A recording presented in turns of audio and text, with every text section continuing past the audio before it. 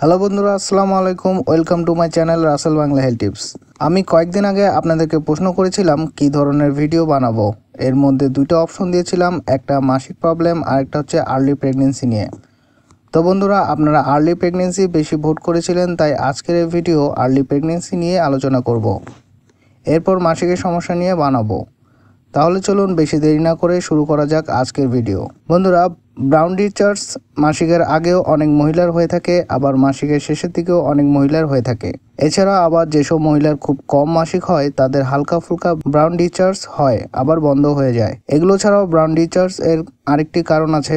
অনেক সময় early pregnancy হলেও ব্রাউন ডিচার্স হয়ে থাকে। কীভাবে? আসুন এবার সেটা জেনে নিই। আপনি যদি প্রথমবার আমার চ্যানেলে এসে থাকেন, তাহলে সাবস্ক্রাইব করে পাশে থাকা বেল আইকনে চেপে দিন, যাতে করে নিউ ভিডিও সবার আগে আপনার কাছে চলে যায়।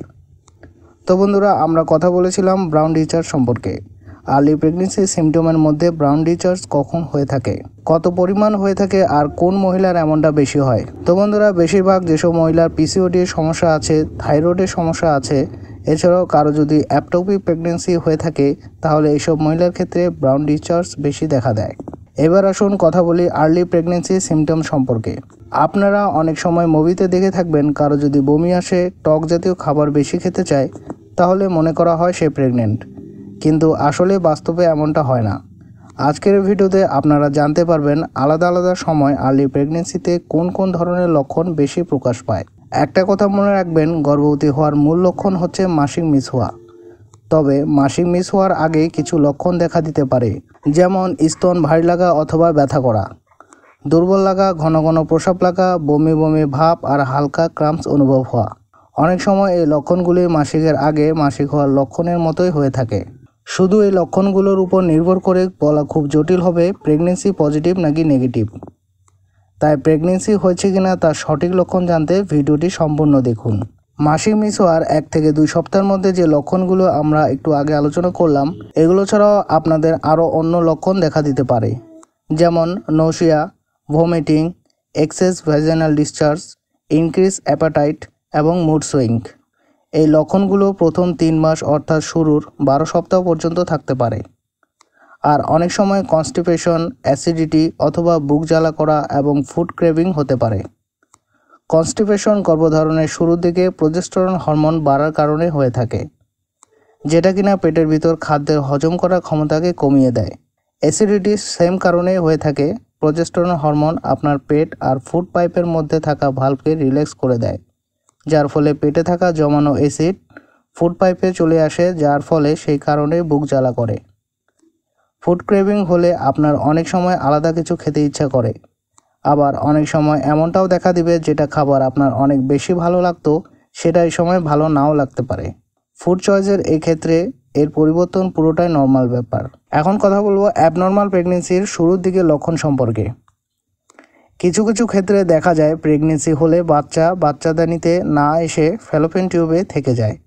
এরকম হলে আপনার পেটের নিচের অংশে প্রচুর ব্যথা করবে ভ্যাজানাল ব্লিডিং অথবা স্পটিং হবে, আর মাথা ঘুরতে পারে এবং আপনি অজ্ঞানও হয়ে যেতে পারেন।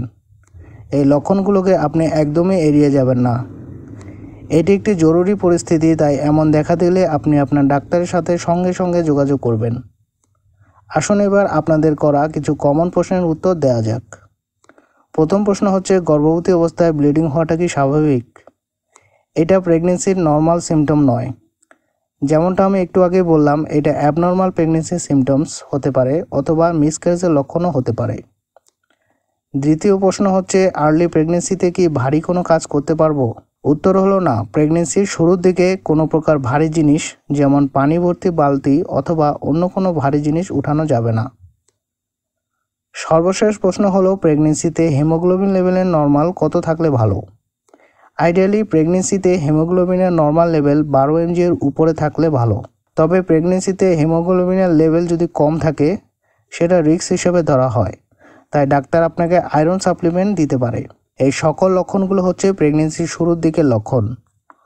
তবে এটা জরুরি না এগুলো লক্ষণ দেখা দিলেই যে আপনি প্রেগনেন্ট তাই প্রেগনেন্সি কনফার্ম করার জন্য মাসিক বন্ধ হওয়ার পর আপনি ঘরেই প্রসাব দিয়ে প্রেগনেন্সি টেস্ট অবশ্যই করবেন।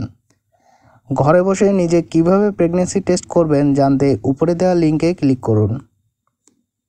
এই ছিল আজকের ভিডিও যদি আপনাদেরকে এই ভিডিও ভালো লাগে তাহলে লাইক এবং শেয়ার করুন। এই ধরনের ভিডিও আরও দেখতে চাইলে রাসেল বাংলা হেলথ টিপস চ্যানেলকে অবশ্যই সাবস্ক্রাইব করে পাশে থাকা বেল আইকনে ক্লিক করে দিন। দেখা হবে পরবর্তীতে নতুন কোনো ভিডিওর সাথে। সে পর্যন্ত ভালো থাকবেন, সুস্থ থাকবেন। আল্লাহ হাফেজ।